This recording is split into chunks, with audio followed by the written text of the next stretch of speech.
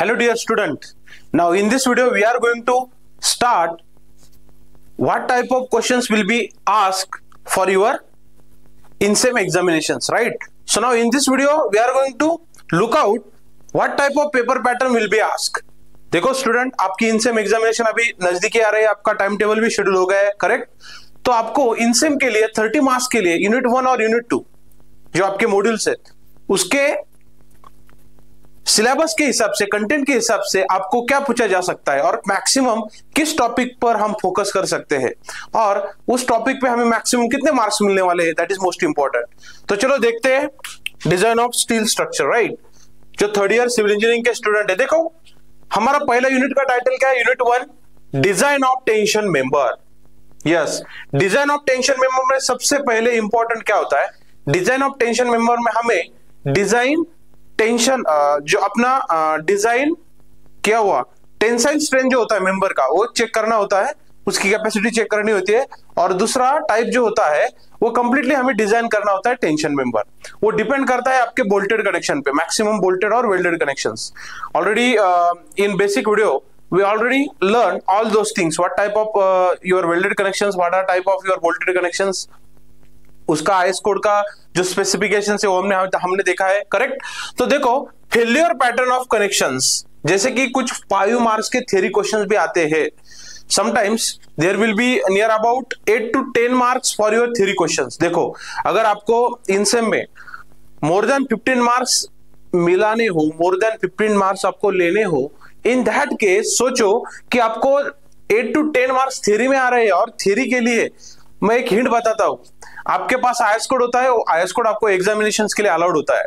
तो उस एग्जामिनेशन के आयस कोड में सर्च करो, देखो कि इस रिलेटेड कुछ वहाँ पे कंसेप्ट है क्या। तो उसको एक्सप्लेन करने की एलोबरेट करने की इन आर वर्ड ट्राई करो। नियर अबाउट फाइव मार्क्स का थ्योरी क्वेश्चन हो तो आपको तीन या चार मार्क्स इजीली मिल जाते हैं। That is most important okay तो मैंने यहाँ पे एक सैंपल रखा है कि किस तरह से, और ये बहुत बार पूछे जा चुके हैं theory questions failure pattern of connections और डिज़ाइन फिलोसॉफी जैसे कि लिमिट स्टेट ऑफ़ सर्विसबिलिटी होती है राइट उस तरह के डिज़ाइन फिलोसॉफी आपको एक्सप्लेन करनी होती है। टाइप ऑफ़ स्टील स्ट्रक्चर कौन कौन से होते हैं? इस तरह से सिंपल सिंपल थ्री क्वेश्चन आपको पूछे जा सकते हैं। लेकिन सबसे इंपॉर्टेंट क्या है? वो तो हो गए पाँच मार्क लेकिन सबसे इंपॉर्टेंट हो गए दस मार्क दस मार्क का न्यूमेरिकल कैसे आता है? तो स्टूडेंट देखो हंड्रेड परसेंट आपको डिज़ाइन टेंसाइल स्ट्रेंथ ये पूछा जाएगा। Design tensile strength design tensile strength of your tension member तो उसमें इक्वल और अनइक्वल एंगल सेक्शन 100 परसेंट आते हैं। तो आपको क्या करना है? इन दोनों न्यूमेरिकल की प्रैक्टिस करना है। एक इक्वल और एक अनइक्वल और एंगल सेक्शन 99 परसेंट आपको एंगल सेक्शन पूछे जाएँगे किसमें? डिज़ाइन टेंसाइल स्ट्रेंथ में। तो इन यूनिट नंबर वन आपको कौन से दो न्यूमेरिकल यहाँ पे प्रिपेयर करने हैं? सबसे इंपॉर्टेंट यस आपको इक्वल और unequal angle section angle section का मतलब होता है I S A I S A hundred by hundred by ten hundred by hundred by eight likewise right तो ऐसे आपके होते हैं एंगल सेक्शन और अनइक्वल कैसे होंगे फिर? One one zero by hundred by eight तो वन वन ज़ीरो हंड्रेड और एट तीनों के डायमेंशन दोनों साइड के डायमेंशन आपके अलग है तो उसको बोलेंगे हम अनइक्वल एंगल सेक्शन तो उसके ऊपर कौन सा क्वेश्चन मैक्सिमम पूछा जाता है? डिज़ाइन टेंसाइल स्ट्रेन उसके स्पेसिफिकेशन न्यूमेरिकल में होते हैं। तो इसके लिए आपको स्टील टेबल और आयस कोड दोनों क्या करना है? एग्ज़ाम को लेके जाना है। उनमें से हमें वैल्यू कैरी करनी होती है। उसके बाद अगर ऐसा क्वेश्चन आता है तो और में भी कुछ होगा। करेक्ट? तो और में क्या पूछा जाता है? देखो डिज़ाइन ऑफ़ टेंशन मेंबर तो दोनों में क्या फ़र्क है? इसमें भी जो स्टेप आप फॉलो करोगे, वो स्टेप इसमें भी होगे। इसमें मैक्सिमम आपको कनेक्शंस भी डिज़ाइन करने होते हैं, जैसे कि बोल्टेड और वेल्डेड कनेक्शन उस केस में आपके कुछ स्टेप बढ़ जाते हैं। तो वो स्टेप आपको इसमें कंसिडर करने होते हैं। इसलिए डिज़ाइन ऑफ़ टेंशन मेंबर इसमें भी इक्वल और अनइक्वल इसमें भी इक्वल और अनइक्वल आप क्या लोगे? एंगल सेक्शन ही लोगे। देखो तो आपको क्या फोकस करना है? एंगल सेक्शन फोकस करना है। उसके लिए डिज़ाइन भी पूछा जाएगा और डिज़ाइन टेंसाइल स्ट्रेंथ यानी कि कैपेसिटी इसमें आपका लास्ट में एक लोड आता है किलो न्यूटन में। वो किलो न्यूटन में निकालने के लिए न्यूमेरिकल पूछे जाते हैं। और इसमें आपको आ, क्या करना पड़ता है? वो चेक लेके वहाँ पे कनेक्शन डिज़ाइन करने होते हैं। तो इस तरह से आपका होगा यूनिट नंबर वन तो आपको क्या क्या फोकस करना है पता चल गया? करेक्ट तो 10 मार्क के लिए ऐसे न्यूमेरिकल पूछे जाते हैं। 10 मार्क के लिए ओके तो चलो जाते हैं unit number two yes design of compression member उसमें मैंने बेसिकली यहाँ पे दो लिखा हुआ है कॉलम और स्ट्रट आपको मैक्सिमम कौन से क्वेश्चन आएँगे? कॉलम और स्ट्रट के। वही दोनों होते हैं कॉम्प्रेशन मेंबर तो देखो, इसमें भी थ्री क्वेश्चन है। और बहुत बढ़िया। अगर आपको इसमें भी थ्री क्वेश्चन पूछे गए तो और और हो गया। इसमें देखो, एक क्वेश्चन राइट करोगे तो पाँच मार्क्स हो गए और पहले वाले क्वेश्चन में से एक, पाँच। तो मैंने बोला था ना, आपको एट टू टेन मार्क्स के लिए थ्री क्वेश्चन आता ही है।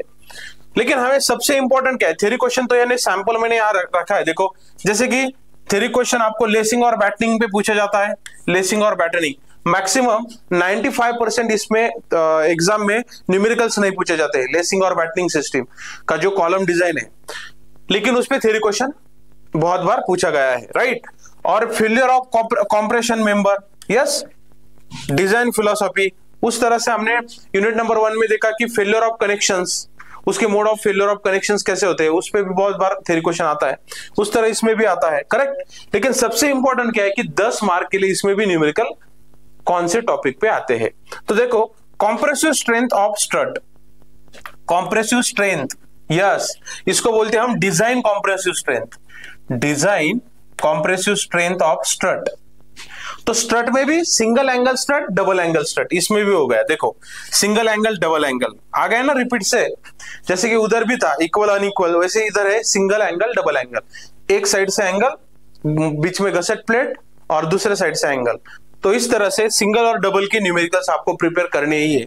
और 99 परसेंट इस पे क्वेश्चन आता ही है compressive strength of strut similarly उसके और में क्या क्वेश्चन पूछा जाता है? देखो एनालिसिस ऑफ़ स्ट्रट इस टाइप का एक क्वेश्चन होता है डिज़ाइन ऑफ़ स्ट्रट जैसे कि कॉम्प्रेसिव स्ट्रेंथ हुई ना सेम स्टेप है, इसमें भी डिज़ाइन ऑफ़ आपको एंगल सेक्शन क्या करना पड़ता है? एज्यूम करके उसको डिज़ाइन करना पड़ता है, ये सेफ़ है या नहीं?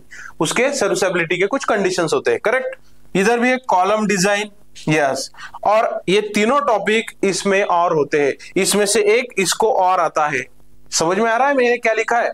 ये तो आपको हंड्रेड परसेंट आएगा, ये क्वेश्चन तो हंड्रेड परसेंट आएगा। इसके और में आपको एनालिसिस ऑफ़ स्ट्रट या उसके और में डिज़ाइन और या उसके और में कॉलम डिज़ाइन जैसे कि I S HB section I S MB section ऐसे सेक्शन आपको डिज़ाइन करने होते हैं। करेक्ट तो स्टूडेंट इस तरह से आपको ये दस मार्क के लिए, पाँच मार्क के लिए, दस मार्क के लिए, पाँच मार्क के लिए। या design of compressive strength check करने के लिए डिज़ाइन कॉम्प्रेसिव स्ट्रेंथ चेक करने के लिए दो न्यूमेरिकल भी एक क्वेश्चन में पूछे जाते हैं, पाँच पाँच मार्क्स के लिए। वो सिंपल सिंपल क्वेश्चन होते हैं। वो भी आपको पूछा जा सकता है इन इंस्टेड ऑफ़ थ्योरी तो ये बहुत इंपॉर्टेंट टॉपिक हो आपके लिए राइट यस और ये भी इसके और में आता है। तो नाउ स्टूडेंट लाइकवाइज आप इसको स्टडी कर सकते हैं। और ये हो गया आपका कंप्लीट पेपर पैटर्न तो इस तरह से इधर भी 15 मार्क्स हो गए, इधर भी 15 मार्क्स हो गए। तो आउट ऑफ़ 15 देखो इसको ये और होगा 15 मार्क्स के लिए। सिमिलरली इधर भी ये 15 मार्क्स और इसके लिए ये और होगा 15 मार्क्स तो 30 मार्क्स का आपका प्रिपरेशन हो जाएगा। तो जो जो भी टॉपिक मैंने इस स्क्रीन पे आपको यहाँ पे रखा है, आपको इसको फोकस करना है मैक्सिमम गॉट इट तो best of luck to everyone try करो, मैंने जो पढ़ा है वो वीडियो देखो, आपको सब क्लियर हो जाएगा।